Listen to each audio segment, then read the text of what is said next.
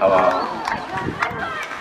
No, University of Queensland, take that out from and Tag.